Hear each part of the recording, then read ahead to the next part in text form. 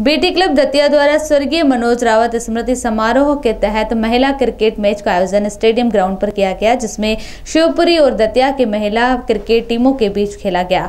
इसमें शिवपुरी की टीम दो विकेट से यह मैच जीत गई। पहले बल्लेबाजी करते हुए दतिया की टीम ने 20 ओवर में पिचासी रन बनाए। वहीं शिवपुरी की टीम ने आठ विकेट खोकर यह मैच जीत लिया। शिवपुरी की कप्तान वैशाली सिंह ने शानदार पच्चीस रन की पारी खेली। मैच के प्रारंभ में बेटी क्लब दतिया की अध्यक्ष अध्यक्ष श्रीमती आकांक्षा रावत, उपाध्यक्ष मीना श्रीवास्तव ने दोनों टीमों के खिलाड़ियों से परिचय प्राप्त किया।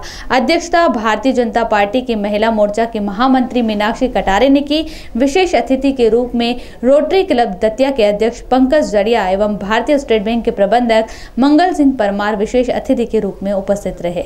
विजेता, उपविजेता खिलाड़ियों को प्रमाण पत्र प्रदान कर अतिथियों द्वारा सम्मानित किया गया। इस अवसर पर क्रिकेट प्रशिक्षक डॉक्टर आशीष पबिया, शिवपुरी रवि सिंह को भी सम्मानित किया गया। कार्यक्रम का संचालन बेटी क्लब के उपाध्यक्ष मीना श्रीवास्तव ने किया एवं आभार क्लब की अध्यक्ष श्रीमती आकांक्षा रावत ने माना। इस अवसर पर सुषमा श्रीवास्तव सुनीता समाधिया डॉक्टर राज गोस्वामी अशोक श्रीवास्तव राजेंद्र तिवारी पंकज मिश्रा विनोद मिश्रा सहित सदस्य मौजूद थे। उद्देश्य क्या है? हमारा उद्देश्य ये है कि बेटों को तो हर कोई बढ़ावा देता है।